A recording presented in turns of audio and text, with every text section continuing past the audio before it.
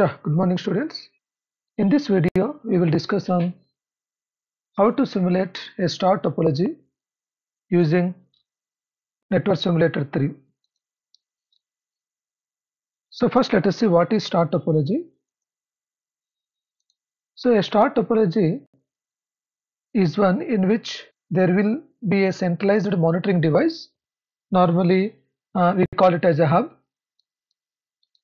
and the devices are connected to this hub.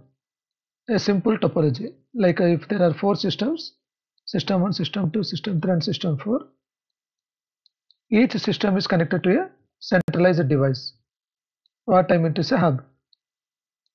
So in the star topology what happens? There is no direct communication between system 1 to system 2 just like how we had in point to point communication.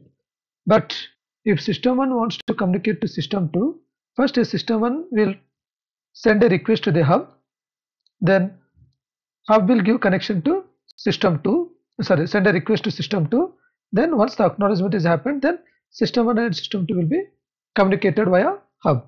So in the same process, whichever the system wants to communicate to another system, so the data should transfer through hub. So this is what a simple star topology, but if you see carefully, if system 1 wants to transfer information to system 2, then system 1 is communicating to hub, which is nothing but a point-to-point -point communication, which we have seen in the first program, P2P. Similarly, hub will communicate to system 2, which is nothing but again a point-to-point. -point. Again, hub will give acknowledgement back to system 1, which is again point-to-point. -point. So, a star topology is nothing but a multiple point-to-point -point topology or point-to-point -point communication. So your first program itself is your star topology, but the only thing is uh, we should uh, uh, install the application uh, nothing but a star uh, helper to each and every node. Okay. So there are totally three steps you need to follow. First step, you need to create the number of nodes which you want. Second step, you need to establish a point-to-point -point communication between the hub and the nodes. And the third step since hub is giving the acknowledgement back to every node we need to install the sink application on top of hub. And last node then uh, if system 1 wants to communicate to system 2 now so any system so system 1 or, or all the nodes should know the address of hub. So hub address is shared to all the nodes for the purpose of communication. That is our last step. And finally you can run the simulator. So these are the five steps you need to follow. So directly I will go to the program. So this is what uh, an Ubuntu platform where I have installed the NS3 so already you know uh, how to run the NS3 code. So however I am not uh, explaining much here because uh, the star topology is a simple uh, or multiple point-to-point -point connections. Okay? So you can watch my previous video -point uh, network simulation uh, which is available in the description box. So I will go to scratch folder, desktop, from there you go to NS all-in-one, NS 3.27, there scratch, you can see this is the code for a star topology, a simple program. So you can see these are all the header files and this is what the star topology where as I told you just now the slide here not is nothing but the centralized device which is nothing but a hub.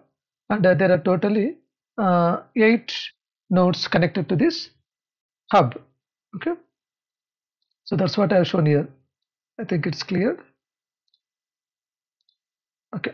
So this is what your hub and these are all the nodes. So if you see carefully each node n1 is connected to n0 n2 is connected to n0 N3 is connected to N0 like that the point to point communications are there. So here we need uh, two applications. One is known as on off application. So the on off application is one of the packages we have where uh, uh, when there is a on the nodes can transfer the data. If the off is called then immediately the nodes will stop sending the data. That is what the CBR traffic will be stopped.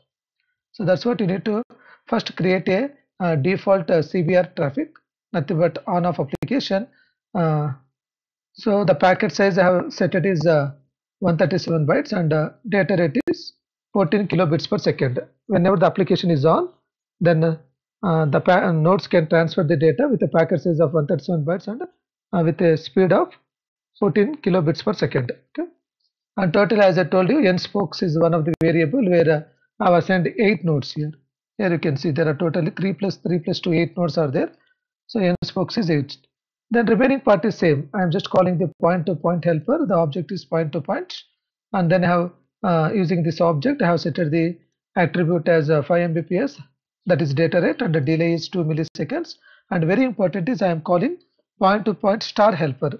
So the object here is star where we need to pass two parameters. One is how many nodes you need to create and also you need to establish the point to point connection for each and every node. So here n spokes is nothing but 8 nodes what I have designed here and point to point I am calling because I need to establish each and every node a point to point connection to the centralized device nothing but a hub. That is what whatever first step here I have done that. The second step is you can normally install the uh, internet stack helper to all the nodes. Then you need to set the base address. This is common steps. So this is very important. Now you need to create the hub application. Okay, that is nothing but a centralized device. So here I am taking the port number as some 50,000. I think uh, 50 we should not take. I will just take, uh, oh yes you can take because you can have the range from 0 to 65,535 the port number range. So uh, they have taken the port number as a 50,000 and here I am taking the the variable is hub local address okay and that I am getting the socket address. The socket address is nothing but combination of IP address which I am getting from IPv4 get any one of the default address will get and port number. The combination of this IP address and the port address is nothing but your socket address. That socket address I am returning to my hub and immediately I am installing the packet sink helper on top of this local hub. Here I am installing you can see here hub applications I am installing to my hub star dot get hub. So the immediately the n node will become the hub with the one of the port address. Ah, sorry, one of the socket address. So here I have just uh, created the sink application on top of my hub. So here I have done that. Install the sink applications on top of the hub and immediately I have started the hub application at 1 second and I have ended at 10. So now I need to create as I told you know on off application. So I'm just calling the on off helper from the TCP socket factory. On time will start when the variable is set to 1. Whenever the variable boolean value is 1 then the on time is started. Whenever the constant value that is boolean value random value is set to 0 then off timer is enabled means it will stop. So the last step is I need to install the application container on top of all the spoke nodes. So total we have 8 nodes. So here I am doing that i equal to 0, i is less than stars dot spoke count. We have spoke count is 8. So here I have done pre-increment. So now it will be 1. So for first node I am just taking one of the remote address and then I am getting the socket address of the hub. This is what I am just calling the socket function internet socket address I am just getting the uh, hub address with the port number and immediately I am calling the on off helper where I am getting the remote address which is nothing but a hub address. I am storing that in a variable known as remote. Okay? And immediately I am adding that address on top of the node. That's what I am on off helper install get dot sorry start dot get spoke node of 1 that but get spoke node of 1 on first node I am just installing this on off helper which is nothing but a variable remote which is nothing but a remote address. So indirectly I am assigning uh, the remote address to the I am telling the remote address which is nothing but hub address to the each node first node. Then again the iteration will start. Now the i becomes 2 and again for the second node I am giving the uh, hub address nothing but a remote address. And then I am calling the on off application. Means uh, whenever it is on it will transfer the data. Whenever it is off it will uh, stop the transmitting the data like that for all the uh, 8 nodes I am just uh, giving the uh, local hub address and then uh, installing the on off helper on top of it So in that way, all the six, eight nodes will get the uh, hub address for the communication and also on-off application is installed. Whenever the node wants to transfer the data, the on off application will be enabled. Whenever the node completes its transmission, off application will be enabled.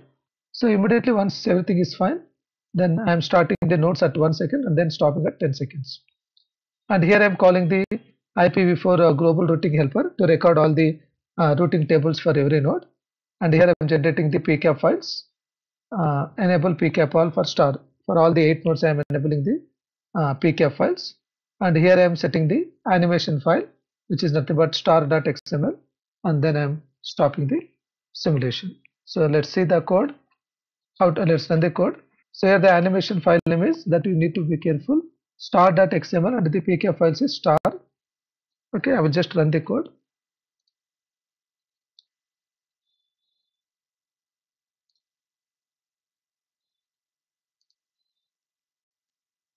So just to go to command prompt. Enter into root directory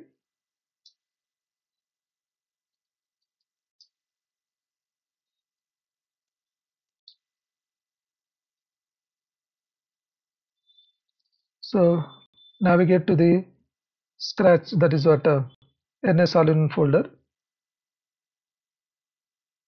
From there you go to ns 3.27 then you just type dot slash waf hyphen hyphen run scratch. My file name is star so just typing star.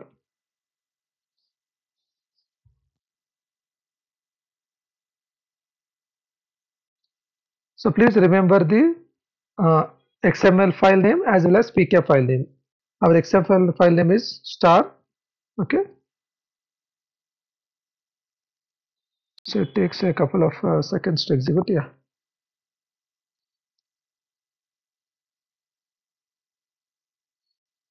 Okay. Just I will list whether the files are created or not. Here you can see star.xml. Yeah, here the file is created. Just I will show the animation file. PCAP files already you know, I will, you know already how to run it. So just I will show you the XML file. In order to run the XML file, need the network animator. Just go to the uh, all-in-one 3.27. There's from there you go to net animator. Then you just type dot slash net anim. Then application will open.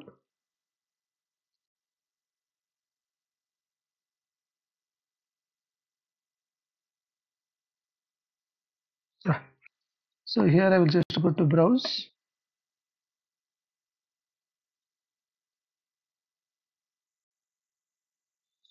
Here star.xml file you can just search it.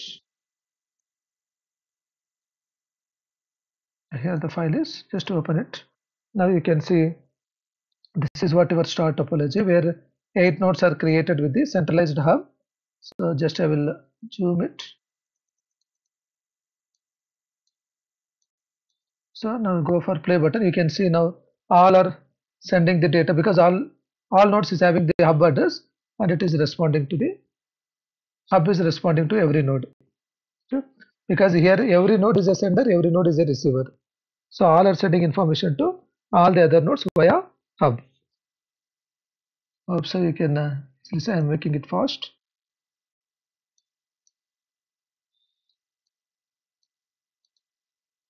You can see here. This is how uh, the star topology will help in uh, uh, monitoring the data by the centralized device and the data communication will be taken place by each and every node. Okay.